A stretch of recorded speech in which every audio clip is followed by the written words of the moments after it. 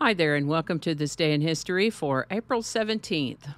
April 17th is the 107th day of the year in the Gregorian calendar, 108th in leap years, with 258 days remaining to the end of the year. April 17th is Flag Day in American Samoa. Now you've got Samoa, which is its own country, and American Samoa, which is a U.S. territory, and we'll talk more in depth about American Samoa later in the year on a date significant to its becoming a U.S. territory. American Samoa. Today's word is rend. Rend is a verb that means to remove from place by violence, or to split or tear apart or in pieces by violence. An example sentence might be In the heat of battle, the warrior's sword could rend through armor as if it were paper, or to tear like hair or clothing as a sign of despair, grief, or anger. There are quite a few examples of the word rend in use in the Bible, particularly in the Old Testament, and looking over them, it's easy to see that generally speaking, the word rend is used in the context of tearing, ripping, splitting, or dividing. Indeed, another definition for rend is to divide into contesting factions. For example, the emotional turmoil was enough to rend even the strongest friendships. As we've already alluded, rend may mean to perform an act of tearing or splitting, or to become torn or split, as in the fierce storm winds threatened to rend the sails from the ship's mast. Past tense forms of the word rend may be rent or rended, as in he rent the cloth to shreds, or the earthquake rended the once sturdy bridge. When you hear the term heart rending, is this rend? The word comes to us from Middle English, Old English before that. First known use of the word rend is sometime around or prior to the 1100s. Rend. Today's word rend was requested by YouTube viewer Teresa Ramsire at T Ramsire. Thanks, Teresa. This was sort of a two part request, and we'll look at the other part of that request tomorrow. That said, if you have a word you'd like us to examine, drop it in the comments. We'll take a look at it. And with that, and the state of Virginia was working on a decision as to whether to remain in the Union or secede. And on April 17th, 1861, Virginia's secession convention voted to secede from the United States, later becoming the eighth state to join the Confederate States of America. More than on. Did you really? Okay, hold on. I forgot to tell it do not disturb. okay, we're going to do that one again. The Ellis Island Immigration Center processed 11,747 people on April 17, 1907, more than on any other day. This is the birthday of Czech pianist, composer, and record producer Jan Hammer, born April 17, 1948, in Prague, Czechoslovakia. He began to gain notice when he played keyboards with the Mahavishnu Orchestra during the early 1970s, and then he was also doing film scores for television and movies. I first heard of Jan Hammer in the days of the TV show Miami Vice in the 1980s. He wrote and performed the Miami Vice theme, and Crockett's theme for that show.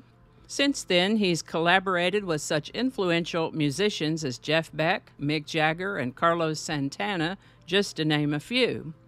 And he's composed and produced over a dozen movie soundtracks in addition to his work on Miami Vice, other TV series, documentaries, and station identifications.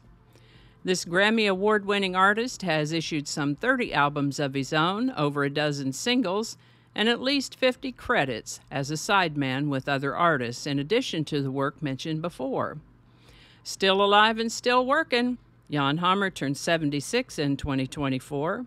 Happy birthday, Jan Hammer. On April 17, 2014, NASA's Kepler Space Telescope confirmed the discovery of the first Earth sized planet in the habitable zone of another star. The Kepler Space Telescope, by the way, was launched in 2009 with a planned mission of three and a half years, but it lasted nine years and seven months. It was finally deactivated in November of 2018. Mm-hmm. We started making these episodes toward the end of 2019, if you can believe it. I'll go grab a link from an episode from a previous year for April 17th and leave it in the description for you in case you'd like to see that. It had to have been quite a feather in the cap of Jan Hammer to be signed on for scoring the music for 80s TV series Miami Vice. I imagine it was more than a full time job composing, performing, and orchestrating on a weekly basis. But if you were a regular viewer of the series, you might agree that the music fit perfectly with what was happening on screen. The Miami Vice soundtrack album was released in November of 1985, just just after the beginning of the second season, and quickly hit number one on the Billboard Hot 100 Top Pop album chart and achieved quadruple platinum status with U.S. sales of more than 4 million copies. Pretty sure I had a CD of that album too.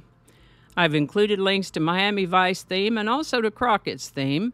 Check them out, both for the listen and also for the look at the padded shoulders so many of us wore in the 80s.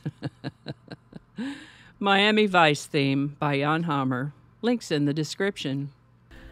Alrighty, thank you so much for watching. Consider subscribing if you haven't already. Feel free to share this video with a link in your email, messaging, or social media.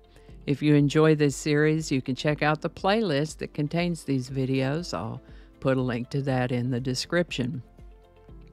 That description lives on YouTube, so for other platforms, I'll include a link to my blog page that's called No Really.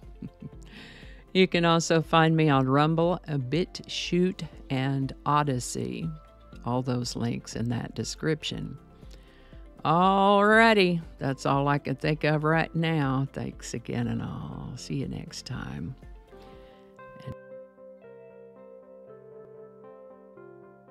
This is the birthday. I didn't get that. Could you try again? I wasn't talking to you and from the Life is What Happens When You Make Other Plans department. oh, where's your microphone? Oh, get your microphone. what is it with you and this microphone? Okay, here we go. Maybe we could get a little camera back up there again. Right there. Little bitty tiny camera. Make it small right there. You're here with me live this morning as I stumble through. I thought I was ready to go, and my apologies for the for the hiccups and the baubles. See, that's all stuff that gets edited out in the edited versions. we'll have a lot to edit today. Cacophony is a sound. Oh, Cacophony is a noun that you got to read it the right way. Don't alienate people who can be helpful to you. Flinging happiness all over the place. Alrighty, back to work. I think we got it this time.